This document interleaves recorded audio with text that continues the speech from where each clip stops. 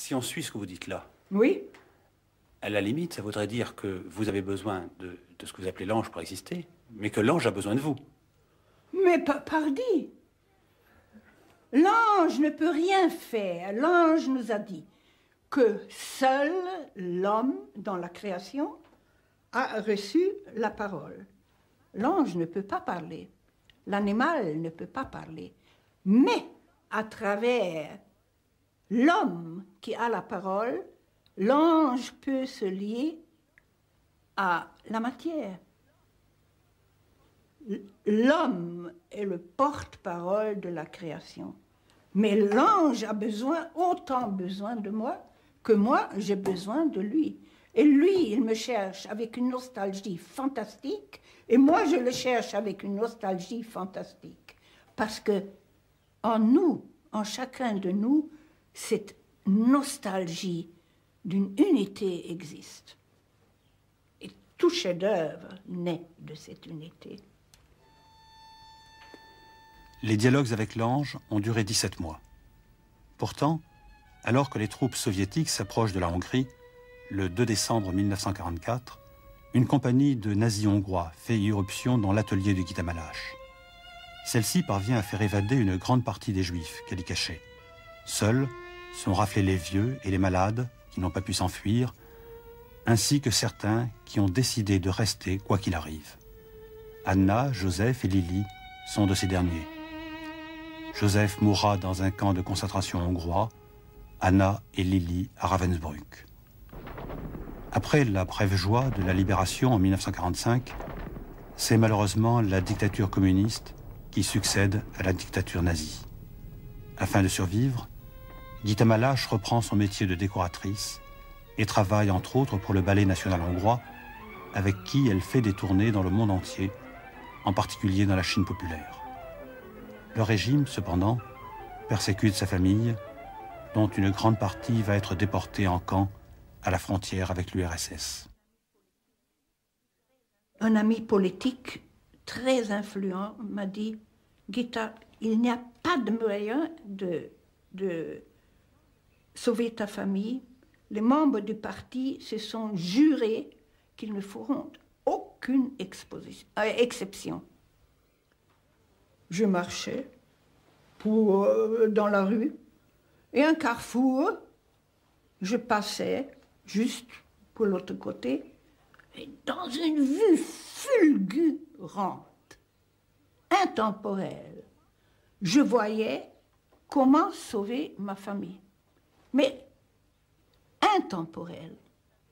Et puis, je n'avais que exécuté pendant deux semaines ce que l'ange m'a montré, et c'était la seule famille qui est devenue de, la déportation. Eh bien, l'ange est très pratique. Il se joue de la politique. Il y a le moment quand même où vous avez quitté la Hongrie. Oui. Hein? Là, l'ange m'a montré. Maintenant, c'est fini. C'était à quelle époque? C'était en 60. Je suis venue en France. J'ai mis dans une toute petite valise un drap, enveloppé les cahiers précieux avec, avec les notes des entretiens, les 17 mois d'entretien. Et j'avais peur qu'à la douane, on va les trouver, mais ça passait très bien. Et en France, nous avons tout de suite com- commencé à les traduire avec des amis français. Nous l'avons traduit pendant 15 ans. Mais justement, vous aviez l'impression, quand vous avez, quand vous avez euh, écrit ces carnets, Oui, vous les avez retranscrits, vous aviez l'impression qu'il y avait vraiment une nécessité à faire connaître ce qui avait été dit. oui, oui, oui, ça je le savais. Que ce n'est pas donné pour notre petit plaisir à nous quatre. Je savais que c'est un enseignement de notre temps. Et d'une certaine manière, vous avez l'impression qu'une fois en France, c'était cela votre mission, de faire connaître. Oui, oui. Pas pour un petit angélisme, avec des petites ailes, des petits poutis dans les églises baroques, mais pour ça, que chacun de nous, chacun de nous a la chance, s'il veut bien, de rencontrer son pareil de lumière, ici et maintenant. À chacun sera donné ce qui le complète. Ce que vous recevez est lumière, toute petite, et le grand vase en est rempli. Ainsi cela lui plaît-il. La faiblesse est force, et la force est faiblesse. Que le roc est dur. La flamme est versée cependant dans le vase le plus fragile. C'est le Fils de l'homme qui reçoit la tâche.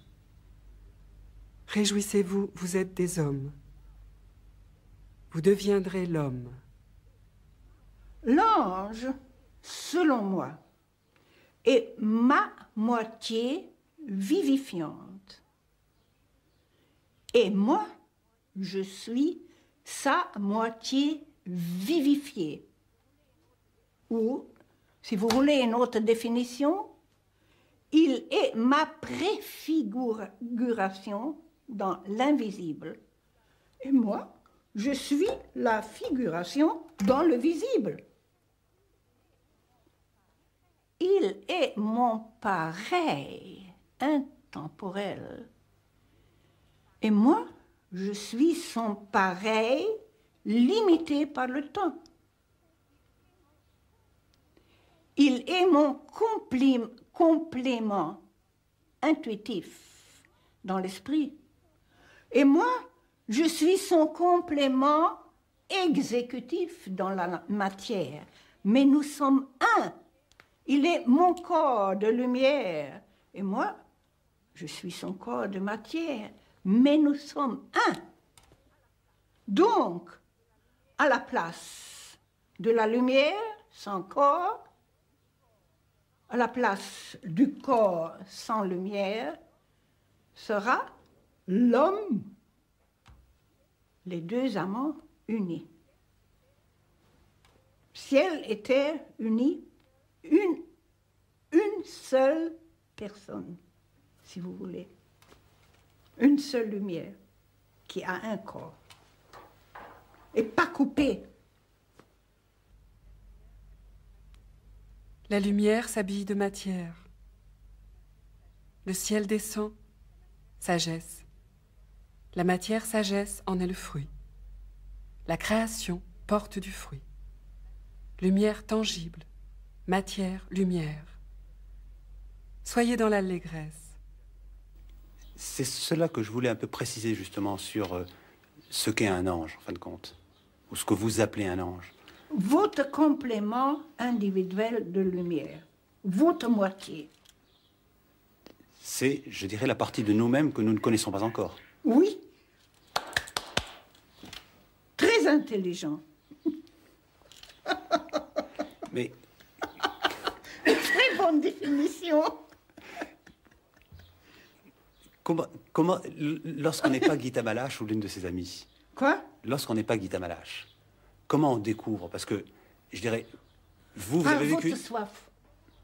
Par votre soif. Au moment où vous avez tellement soif, que vous êtes tellement non satisfait de votre vie d'aujourd'hui, une autre perspective s'ouvre.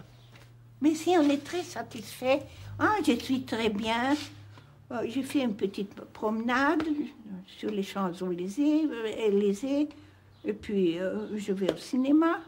Mais au moment où on, dit, je ne peux plus supporter cette vie, alors on change une autre vie, une autre intensité de vie. C'est cela que je voulais dire.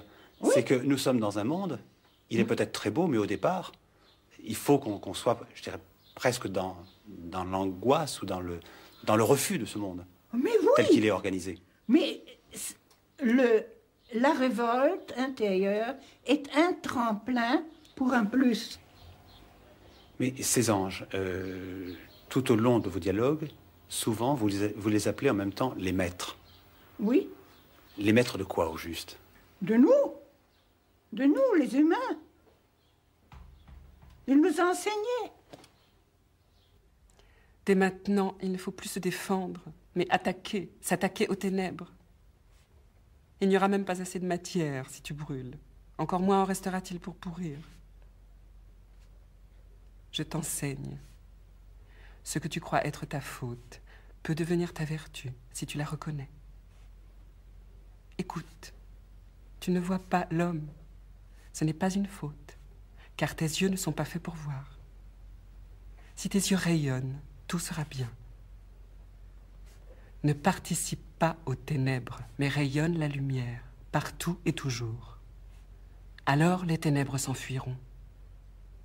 Mais cet enseignement, je dirais, c'est quelque chose qui venait d'ailleurs ou c'est quelque chose qui était fait pour vous, Oh non, vous non, dire non. ce que vous aviez en vous Euh, il y a, je l'appelle comme ça, un peu irrespectueusement, le scénario du ciel, qui se manifeste sur Terre à travers nous.